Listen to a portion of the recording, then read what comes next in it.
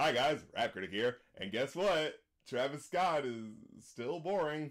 And, you know, normally I want to give a mainstream artist the benefit of the doubt when critiquing their music, but come on, his latest single was part of a McDonald's merchandising collaboration, and they straight up just called it franchise. For God's sakes, it's the functional word for corporate food chains and what Disney labels their Marvel Cinematic Universe to trick people into thinking they aren't watching a bunch of sequels. Just on title alone, you're hit with the fact that this song isn't about having fun or expressing an interesting idea, it's about cranking out yet another market research product from the assembly line that'll guarantee return of investment. Now, in a lot of cases, there's typically a significant amount of people in a fan base that raise a stink when rappers take a commercial endorsement. You know, like, oh, I thought it was supposed to be about the music, man. But in the case of Travis Scott, I don't think there's much cause to bemoan the loss of artistic credibility here.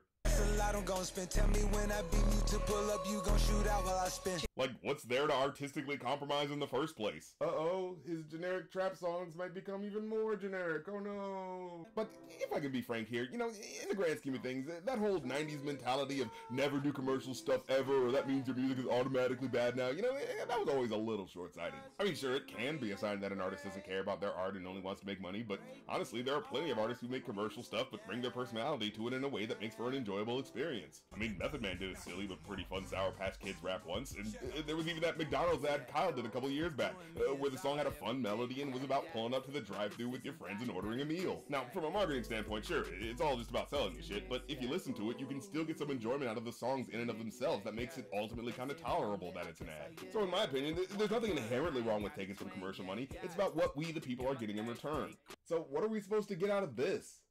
Call Williams for the hype, please. Yeah, call the Sprite people. Call them, hold on. Private flight franchise sites.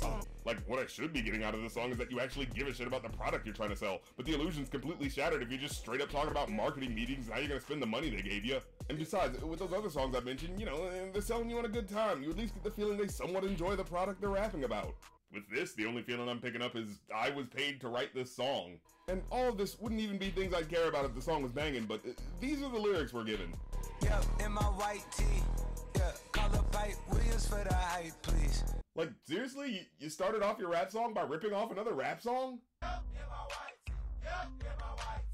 I mean, I guess in that way you can see the song title as a semi-homage to Dem Franchise Boyz, but when you find out the original title of the Travis Scott demo for the song was just called White Tee, it feels less like an homage and more just kind of lazy. And what's even the point of him doing this? W what, just for the reference? Because the original song was written by a bunch of broke dudes who used the song to make a trend out of the fact that those were the only clothes that they could afford. It's one of those owning your poverty moments where it's like, yeah, this may be all we got, but we're such badasses we made it look cool regardless. But Travis Scott is obviously rich, so what's functionally the point of him mentioning it here? Aren't you supposed to be bragging about stuff that, like, actually costs money? Oh, what? Is this him signifying he's still down with street culture?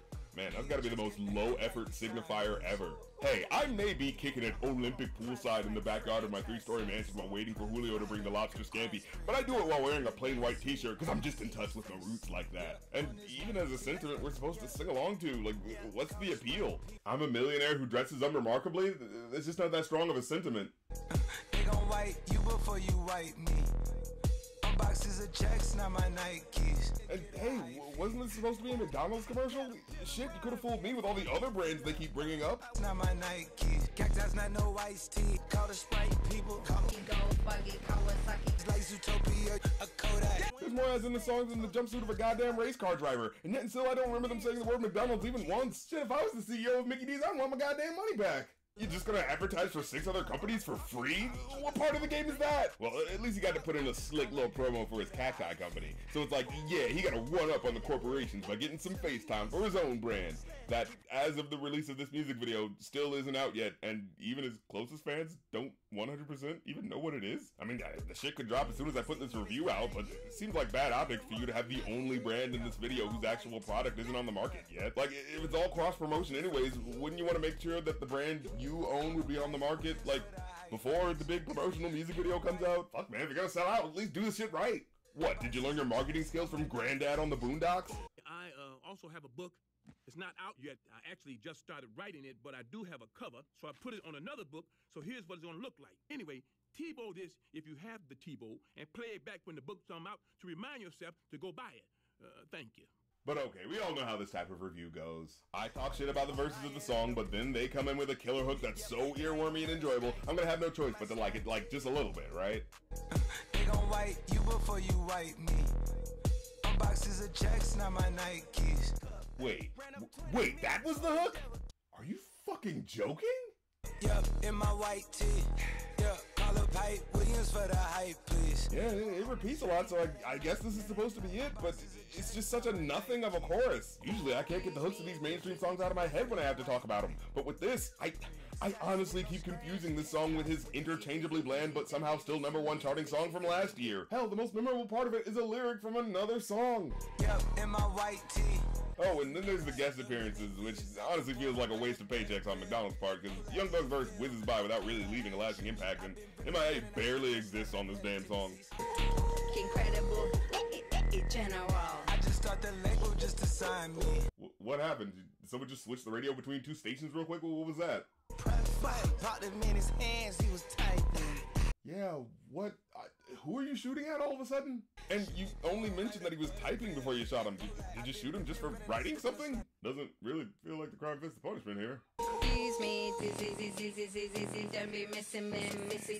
Oh, uh, okay. Well, I'll take care not to go missing in Mississippi.